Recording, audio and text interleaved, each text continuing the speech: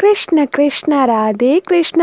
இது வரைக்கும் நம்ம சும்மா கிறிஸ் சேனலை சப்ஸ்கிரைப் பண்ணாதவங்க மறக்காம சப்ஸ்கிரைப் பண்ணுங்க. நம்ம லாஸ்ட் கீதா வீடியோல ஒரு கொஸ்டின் கேட்டிருந்தோம். அஞ்ஞாத வாசத்தின் போது குதிரை பராமரிப்பவனாக இருந்த நகுலனின் பெயர் என்ன அப்படின்னு? நீங்களுமே ஆன்சர் பண்ணியிருந்தீங்க ஃப்ரெண்ட்ஸ் அஞ்ஞாத வாசத்தின் போது நகுலனின் பெயர் என்ன அப்படின்னா தாமக்ரந்தி. இதுவே சகாதேவனோட பெயர் என்ன அப்படின்னா தந்திரி பாலன் இனி இன்னைக்கு வீடியோல உள்ள கொஸ்டினை நம்ம வீடியோ எண்ணில் தெரிஞ்சுக்கலாம்.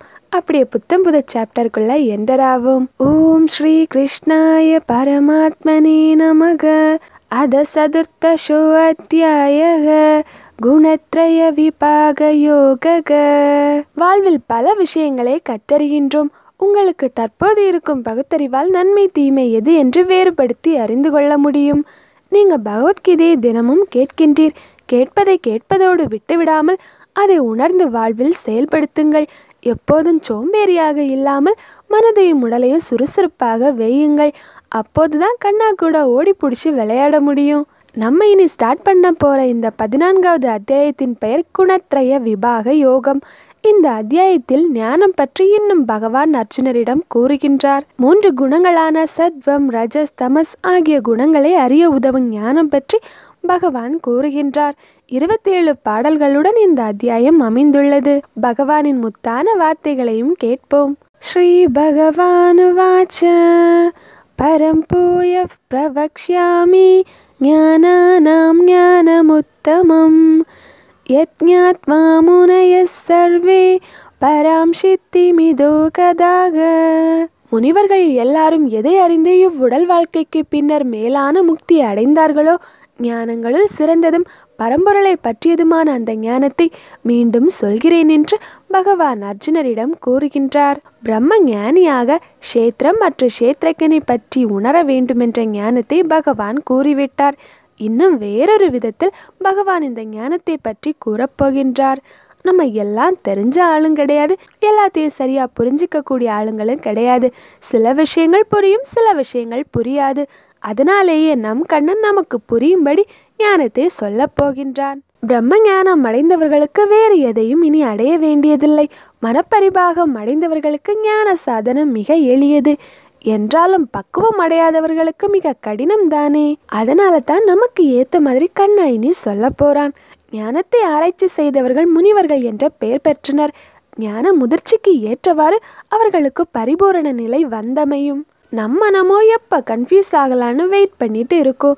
இதில் வேறு சாஸ்திரம் தத்துவம் இலக்கணம் எல்லாம் மனதில் ஒரு பெரிய குழப்பத்தை ஏற்படுத்தும். இவைகள் பகவானை அறியும் அறிவை புகட்டினால்தான் அவை நமக்கு பயன்படும். இல்லை என்றால் அது வீணானது. பகவானை அறியும் வித்தை தான் பிரம்ம வித்தை. இந்த பிரம்ம வித்தையின் பயன் என்ன என்று கூட அறிவோம். அதன் பின் ஞானத்தையும் அறியலாம். இதம் ஞானமுபாஷித்ய மம சாதர்மியமாகதாக.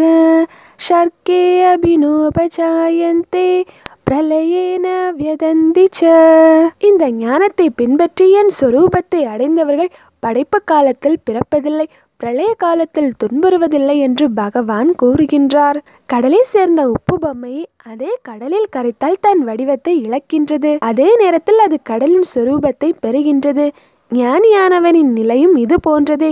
பிரம்மஸ்வரூபத்திலே அவன் ஒன்றாகி போகின்றான். பிரம்மம் தோற்றம் அழிவு எல்லாத்தையும் கடந்தது என்பதால் பிரம்மத்தை அடைந்தவனுக்கு பிறப்பு இறப்பு நோய் போன்றவை கிடையாது. வேக வைத்த நெல் விதையை பூமியில் விதைத்தால் அது மறுபடியும் முளைக்காது.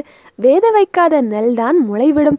அதுபோன்று நாம் ஞானம் பெற்று உடலை விட்டால் மறு ஜென்மம் இல்லை. இதுவே நாம் சித்தி அடையாவிட்டால் மீண்டும் பிறவி எடுக்க வேண்டியதுதான். ஆனால் இந்த பிறப்பு இறப்பு பார்த்து எல்லாம் கவலைப்படாதீங்க. வரும் துன்பங்களை பார்த்தும் கவலை கொள்ள வேண்டாம். உங்களுக்கு தேவையான நேரத்தில் கை கொடுத்து உதவ நம் கண்ணன் உங்களுடனே இருக்கின்றான். யாரும் உதவிக்கு இல்லை என்றும் கூட நீங்கள் வருந்த வேண்டாம். மனிதர்கள் தேவைக்குத்தான் வருவர். ஆனால் நம் கண்ணன் அப்படியல்ல. நம் மாயாவி அல்லவா? அழைக்கும் நொடியில் மாயமாய் நம்முடன் லீலை செய்து நம்முடனே வந்து நிற்பான். எப்போது நம்முடனே இருக்கின்றான் மாயாவி? மாயக்காரன் என்று ஏன் நம் கண்ணனுக்கு பெயர் வந்தது? நமக்கு தெரியாமல் நம்முடனே மறைந்திருக்கின்றான். அதுதான் நம் மாயாவி. அந்த மாமாயனிடமே சரணமடைவோம் அவனிடமிருந்தே ஞானத்தையும் அறிவோம். சர்வம் கிருஷ்ணார்ப்பணம். இன்னைக்குள்ள சிம்பிள் கான்செப்ட்டுமே உங்களுக்கு புரிஞ்சிருக்கோம் ஃப்ரெண்ட்ஸ் இனி இன்னைக்கு வீடியோவில் உள்ள கொஸ்டின் என்ன அப்படின்னு தெரிஞ்சுப்போம். கிட்டத்தட்ட நம்ம ஒன்பது மாசமா கொரோனா சுச்சுவேஷன்ல இருக்கோம். இந்த கொரோனா டைம்ல நம்ம வீட்டிலேயே தான் மோஸ்டா இருந்திருக்கோம். இந்த ஒன்பது மாசத்துல நீங்க என்ன ஒரு நல்ல விஷயம் கத்துக்கிட்டீங்க? அதை கமெண்ட்ல சொல்லுங்க. ஏதாவது ஒரு விஷயத்த கண்டிப்பா நீங்க இதுல இருந்து கத்திருப்பீங்க. அதை மறக்காமல் சொல்லுங்கள் அப்படியே நம்ம நெக்ஸ்ட் வீடியோவில் சந்திக்கலாம்.